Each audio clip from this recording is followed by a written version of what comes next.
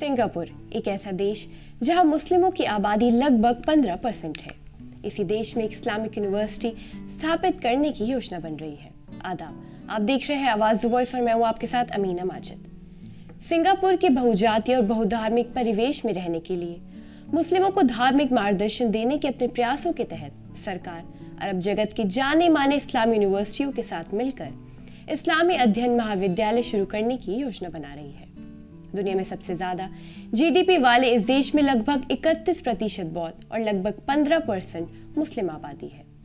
तीसरे सबसे बड़े धार्मिक समूह के लिए मुसलमान और उनमें से लगभग 80 जातीय मल्लिय हैं और जबकि 13 भारतीय मूल के हैं।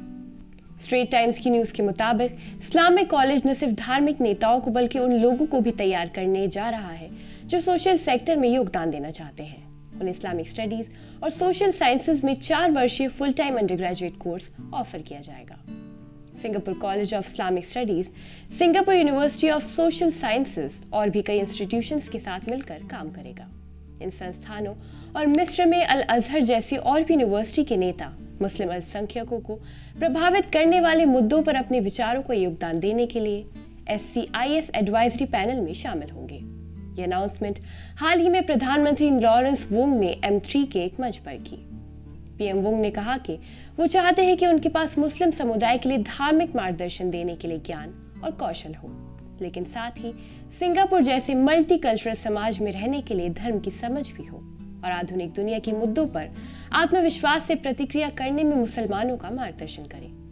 आगे उन्होंने कहा कि ये सिंगापुर में उनके लिए अहम है और उनका मानना है कि इससे मल्य मुस्लिम और भी समुदाय के बीच विश्वास को और मज़बूत करने में मदद मिलेगी और वो एकजुट लोगों के रूप में चुनौतियों का सामना करने में कामयाब होंगे।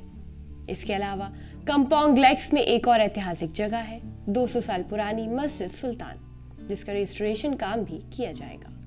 उन्होंने कहा कि एम के प्रयास सिंगापुर की नेशन बिल्डिंग के नए चरण के लिए योजनाओं को दर्शाते हैं।